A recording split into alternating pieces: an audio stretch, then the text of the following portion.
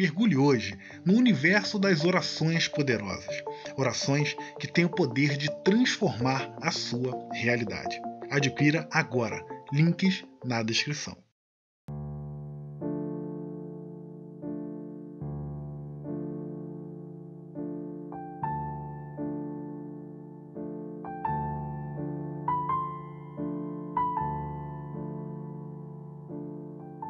Espírito Santo, neste momento venho fazer aqui a oração para acalmar o meu coração, porque confesso, ele anda muito agitado, ansioso e às vezes triste por situações difíceis que passam em minha vida.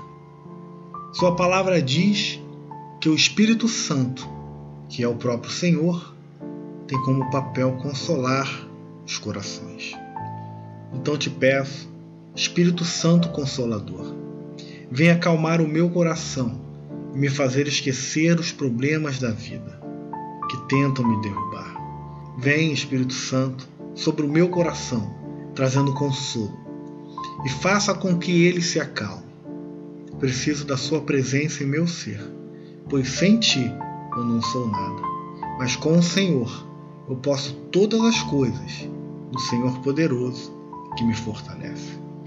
Creio e declaro, em nome de Jesus Cristo, assim: meu coração se acalme, meu coração se acalme, meu coração receba paz, alívio e refrigério.